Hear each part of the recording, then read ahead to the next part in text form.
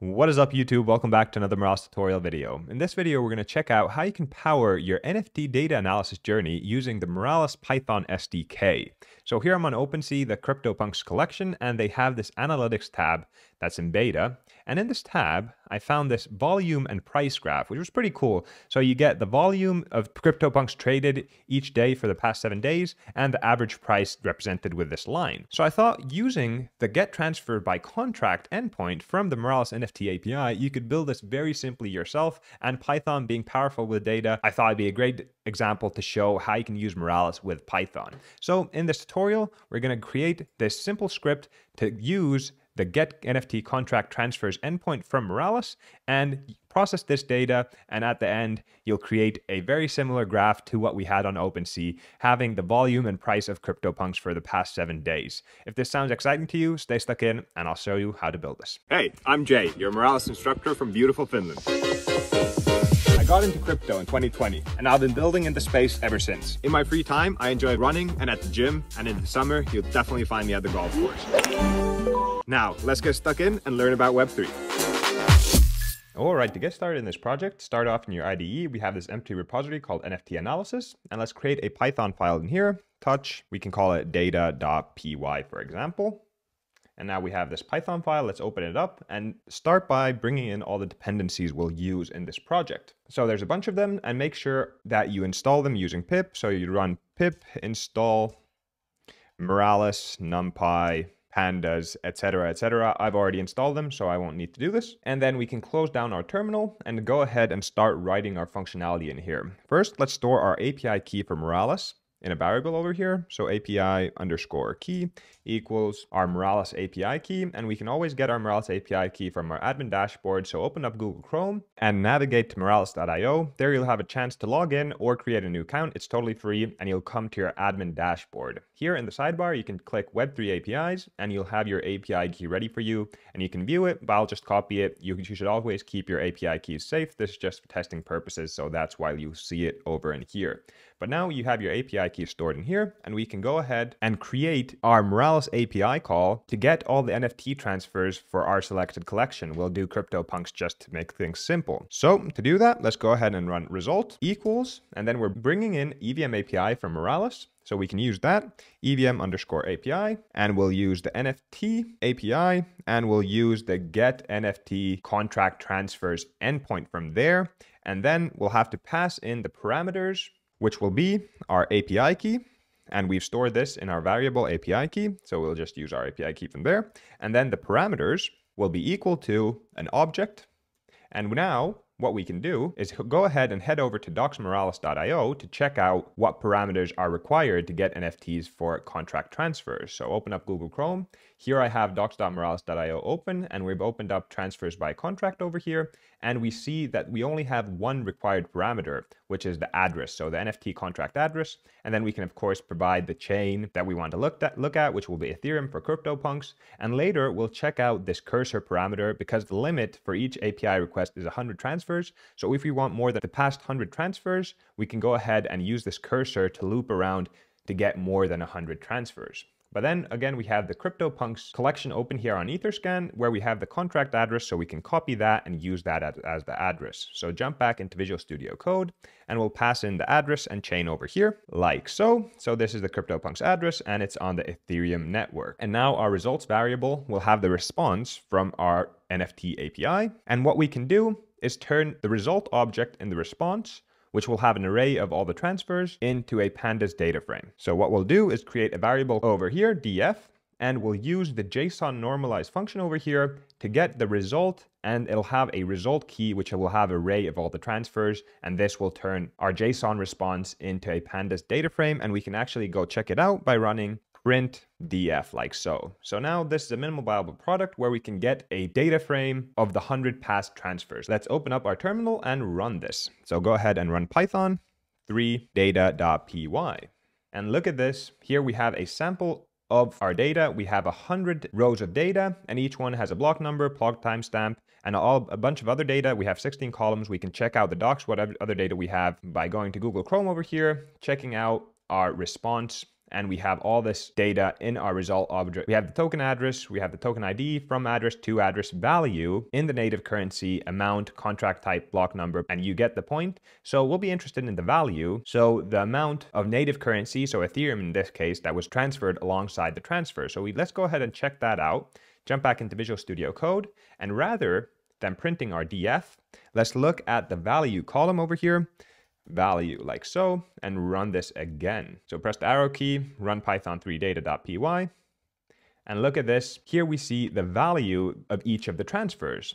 So the very first one was 67 Ethereum over here. So this is 18 decimal points. Some of them were zero. So people just transferring their CryptoPunk from one wallet to another, for example, to a Vault wallet or whatever. So we won't be interested in these. So this is good information for us. We can do our first bit of processing by eliminating all the rows where the value associated with the transfer was zero because we're only interested in transfers from one wallet to another where someone purchased it for a specific amount of ether. So let's go ahead and do that next. Close down your terminal and go ahead and do our first line of processing over here. So our data frame will be our data frame, but only the rows where the value is not equal to zero. And you notice the value is in string format. So we'll have to do some processing later on to turn those values into actual integers so we can play around with them and get the average prices, the volume, etc.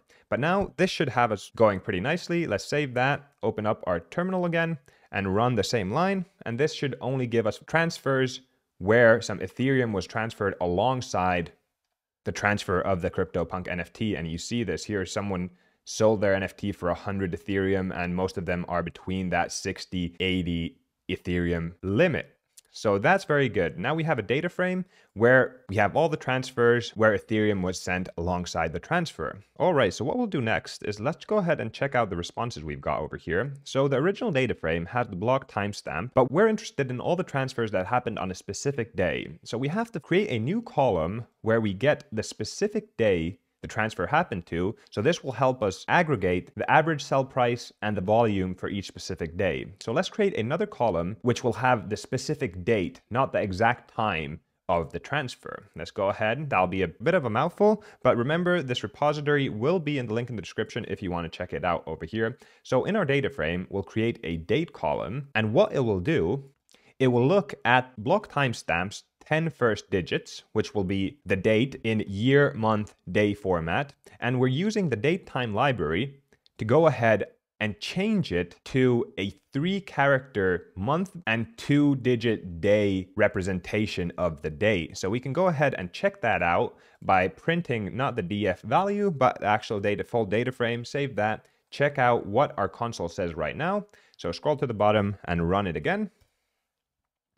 And look at this. Now we have all the dates over here. So the dates on November 22nd, we had three transfers. November 21st, we had three transfers. November 20th, we had a whole bunch of transfers and so on and so forth. So now this will be easy for us to get the average price of the transfer and the total volume transferred for each date. Let's go ahead and do that next by going ahead and getting all the unique dates from our current data frame, like so. And we also reverse the order of these dates because, of course, we have them in descending order, but when we want to present them on our graph, we want them to be in ascending order. So from the left, you have the most historic date, and on the most right side, you have the most recent date. So this is just giving us an array of all the dates so we can loop through all the dates and get the average price and volume for each date. So let's go ahead and create that loop next. But before we have that loop, we have to have an array for all the volumes and average prices for each of the days we have in our data frame. So we can append these arrays with the data we want to present in our graph. So now for the loop, we want to loop through our dates. So for each date in dates, we want to create a temporary data frame like so. So now our temporary data frame will only have the rows where the date column matches the specific date in our unique dates array. Then, like I said, our values are in string format and have the 18 decimals from the native network. We want to go ahead and change those strings into integers and divide by the decimals to get the Ethereum value. So what we'll do is we'll look into our temporary data frame, value column, and change all of them into integers and divide by the 18 decimals to get the Ethereum values. So now we have this values array with all the values, which will include a price for every transfer that have happened on the specific date we are currently looping through, after which we can append to this volumes array the sum of all the values for a specific day, like so. So we append to the volumes array using numpy the sum of all our values for a specific day. And we do the same thing for the average price to so appending into this average array, like so. So our averages, we append using NumPy the mean of all the values for a specific day. And this might be a bit of a mouthful, but now if we go ahead and print, rather than the df, let's print our dates, print our volumes, and print our averages, you should now see three arrays pop up in your terminal with all the specific dates the volume that was traded for each date, and the average price that was traded for each date. So if you save that, open up our terminal, we can go ahead and clear this just to make things neat and tidy, and then go ahead and run python3 data.py. And look at this. Now we have November 17th, November 18th, November 19th, so on and so forth. And for each date, we also have the total volume traded for that day and the average price of each transfer that happened on that day. Pretty sweet, right? Now all that's left to do is put these into a nice graph using matplotlib. So go ahead and close this. And as we have all these, we can go ahead and start creating our graph. All right, so what we'll do is initialize a figure and a axis. Then on our primary axis, we'll add the volumes. So the volume traded for each date. And on the x-axis, we of course have our dates. So if we check out, we'll have these dates on the x-axis and these volumes on the y-axis. But as we also want to have a secondary axis on the right side with all the average prices, we'll have to create a secondary axis over here. So axis 2, which will have a twin x-axis. And then there we'll just plot a straight line graph with the average prices to make it clear, like so. So here we'll just plot on the x-axis dates the average prices for each date and we give it a nice purple color. And now all that's left to do is show our graph. After that, we can go ahead and start making it look neater. So what we'll do is do plot show, and then we're ready to go. Make sure to save your file, open up your terminal, and go ahead and run python3 data.py. And look at this, it opens up this graph for us. On the left side over here, we have the volume traded for each date. And on the right axis, secondary axis, we have the average price. So the line graph represents the average price for each day. And the bar graphs over here use this primary y-axis showing us the volume traded for each day. How cool is that? Now, as you can see, before we go ahead and style this nicely, we can go ahead and count that we have one, two, three, four, five, six bars over here. And that's because we only have from our Moralis API call the 100 last transfers. So now we can go ahead and get the last 200 or last 300 transfers so we have more transfers and this way we can present the last seven days and not just the last six days because most people would like to see the last week's transfer history. So let's go ahead and implement that first, and then style this to look nice and kind of replicate the look and feel that we had on OpenSea. So you can close this up, close up your terminal, and we can scroll all the way up here where we make our EVM API call. And what we'll do is go ahead and above the results, we'll initialize a empty string for our cursor to start off with and a empty data frame. So we have a cursor variable and a empty data frame, which we can then fill with the results of our API call. Then what we'll have to do is chuck our API call into a for loop. So let's run for x in range. We'll first of all make two loops around and then make sure you indent this correctly like so. And now going down a little bit, we can go, get, go ahead and first get the cursor that our API call responds with, like so. So now we have the cursor, and when we loop around again, we can actually call the cursor as a parameter in our API call, so initially, we'll just use an empty cursor, but as we go through the second loop, we'll actually have the cursor that our first API call gave us, and this will give us the next 100 transactions. And then what we'll have to do is we'll have to populate our data frame. So what we'll do is create a df2 where we use JSON normalize to create a pandas data frame from our results.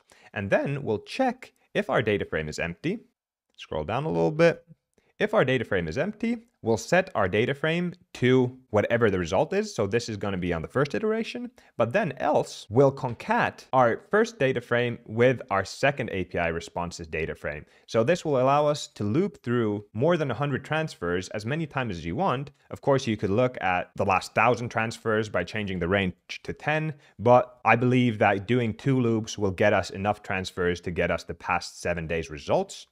But then, of course, you need to be aware of Moralis API call limits, and you can only make one call of a 5 compute unit weight. So we'll have to wait using the time.sleep for 1.1 seconds before running our second API call. So now with this setup, we don't have to set the data frame after our API call loop over here, so we can remove that. And because we might get more than the past seven days of unique dates, we can over here only get the seven most recent dates like so. Again, this might not be the most efficient way to do things, but for the sake of this example, it works perfectly. Let's save this. And now what I'll do is go ahead and over here, print the DF that shows that we will have 200 transfers as we're looping through the NFT API call twice. But also as we at the end show our plot, we should get the plot to display as well. So let's go ahead and print the DF at this point of the script, save that. And now as we open up our terminal,